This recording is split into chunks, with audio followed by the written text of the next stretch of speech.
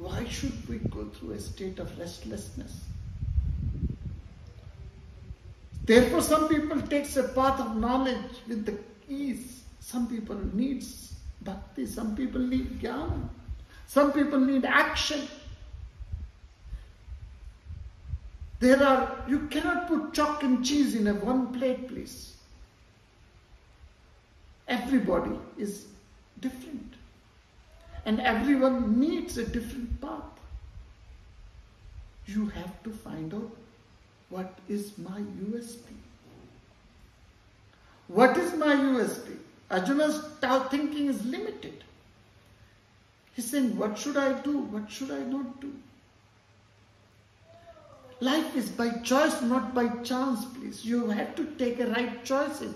And the right choices will determine your future destiny.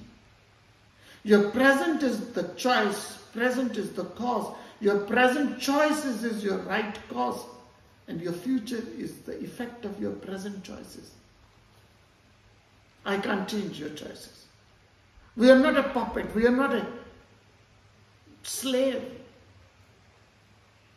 We are. What we are is because of our free will.